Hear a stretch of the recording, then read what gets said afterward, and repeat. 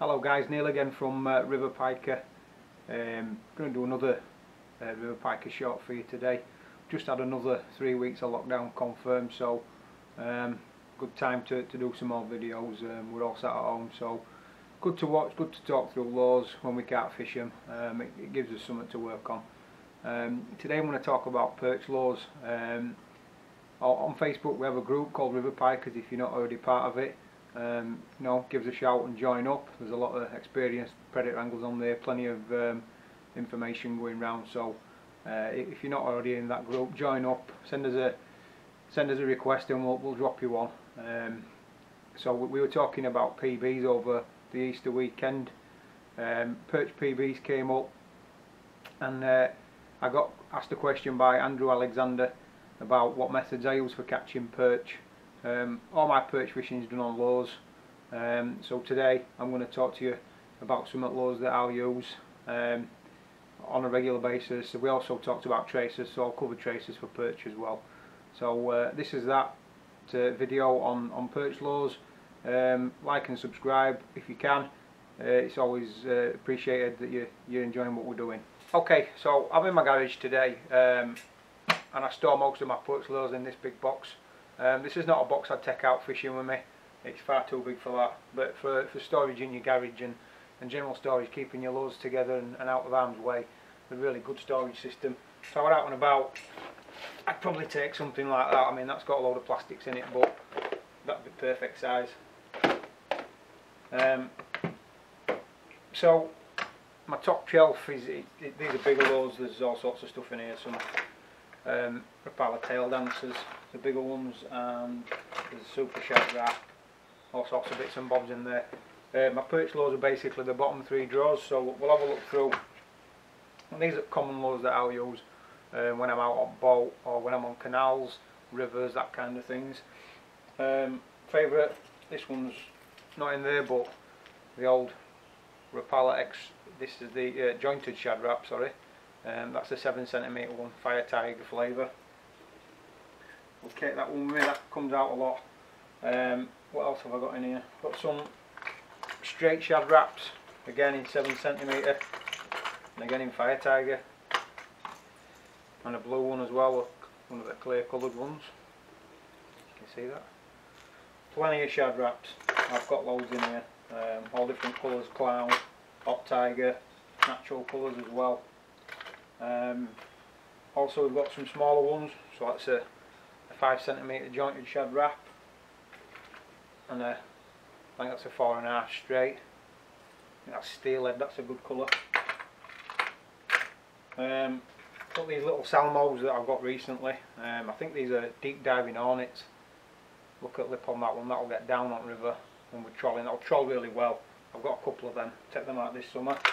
A couple of other um, couple of other salmos here.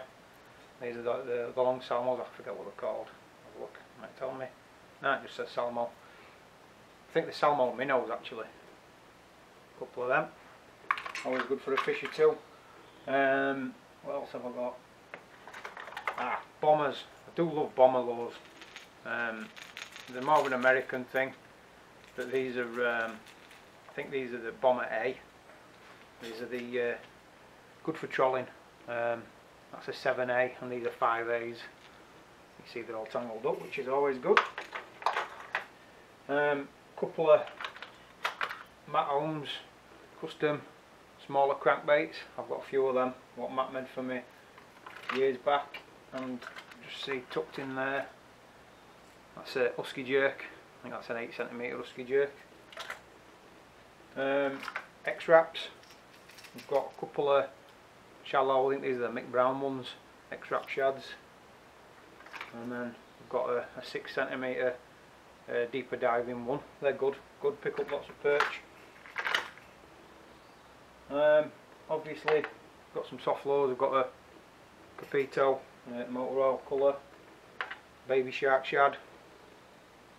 Again, similar kind of colours really. Um, 2 inch Kopyto, they were all 4 inch loads um, 2 inch Kopyto there and then another 2 inch Kopyto, that's a lovely little colour like a yellow and green, that's on a, a 5, five gram jig head that's a, a Gunki. Smells like aniseed. I love smelling soft lures. And that's on like a 10-15 grams you get. I get, I think, bought them for Spain, so they do get down a lot deeper. Move down one, still more shad raps. I've got a Storm Thunder Stick. Was it Thunder Crank that one I think? Rapala again, that's a Risto rap, that's in my favourite baitfish colour. Um, another small jointed Rapala shad rap. Another bomber, that's a square that's a brilliant chub lure. Um, more of Matt's stuff. Um, some original floating and husky jerks, Rapalas. More bombers in here. These are bomber fat fat free fingerling they're called. It's a great name. Love white as well, it's another good colour. I've got another another baitfish coloured one in there. See that one's been absolutely battered. No damage on that. Pike love that, they just absolutely devour it. Um, couple of the small surface lures, jitterbug, and I've got a uh, crazy crawler in there. And these um, these little Rapala rattling um, rattling lures, rattle taps I think they're called. And then a load of plastics. I like these, these are Fox Cannibal Shads, uh, Savage Gear Cannibal Shads. I like Cannibal Shads, I have my PB perch on a Cannibal Shad, £4 1 ounce on that size as well. Uh, a couple of spinners in here, some more kopytos. Oh yeah, that's a good one. Mepps number 3 in copper. Had my uh, PB chub on that, a 6 pound chub on that lure. Drop down again. Um, these are there's some deeper diving cranks at the bottom here, so I've got things like Rapala DTs, that's a DT16 or DT14, sorry, in like a perch colour. Nice lure. 7 centimetre deep tail dancer. Tail dancers are brilliant. This is uh, this gets down. I think this is a H HRT lure.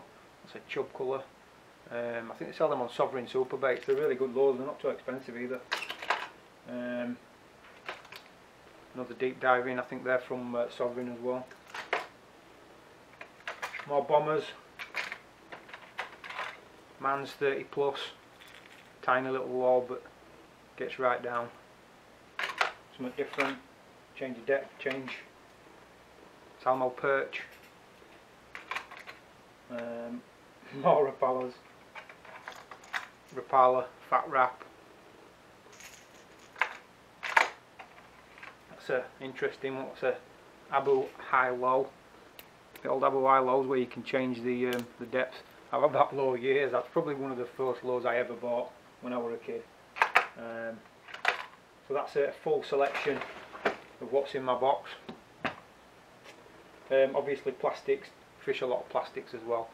That's a uh, that's a four inch uh, rubber motor oil colour with motor oil colour. More of the shark shads in red. Just just mixing it up. My old favourite. A two and a half inch kopyto, is it two inch, uh, three inch kopyto in white. Best colour going. Five grams you get. Brilliant canal lure. Pick loads of perch upon them. I'm moving on to uh, clips and tracers. Um, mustad stay locks, always good. These are size 3 um, for perch.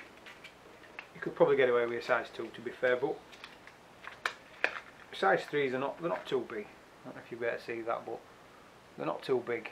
You get away with that, um, but you, you, you, would be able to use a size 2. If I, were, if I were expecting perch and pike for trolling and things like that, I'd go with a size 3, it'd be a little bit safer. But especially for jig fishing, I've been using um, these Gemini Genie clips. I think they call them snoods. Um, they're really light and they're really fast to change, especially for jigs. Never had one open on me. These are really small ones. These are just for perch fishing. For pike fishing, I have some heavier duty ones. Um, I don't know if it tells you what size these are. It don't, but you see around there's better, different size ones knocking about.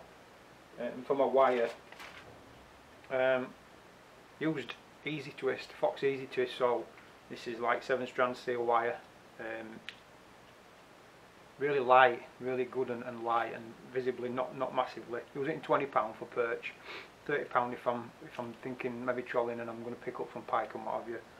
Um, just twist them, you know, make your own traces, twisting. Loads of videos on internet about twisting your own traces. Um, cheap and cheerful. Uh, and I've been using this Kahira that this is titanium and um, this is light, this is only 21 pound super light super thin. I don't even think you better see that but um, and especially if you're picking up pike so if you are trolling on river and you're going to pick up a lot of pike it, it, it's good for um, not getting twisted up not getting bent and stuff like that. It just takes a lot more hammer that's why we use titanium. It's a lot more robust. Um, that's just a, a, pretty quick run through. Um, covered a lot of lures there you don't need to buy every lure um, buy a small selection learn how they work. You know there's some deep diving stuff there that won't work on your canals for example. If you're fishing a canal you don't need any of the deep stuff. Stick with the, the smaller lips on the front on the crankbaits. It's a nice small selection of jigs in 2, 3, 4 inch and you're good to go. But there's all sorts there. Loads of info. It's just a bit of a what's in the box. Keep us all occupied. So just a few final words on perch fishing. Um, Andrew also asked me about the the fluorocarbon versus um, versus wire. He asked me if I ever use fluorocarbon um, in my case I never use fluorocarbon for perch fishing. Uh, the venues that I fish all contain pipe pretty much.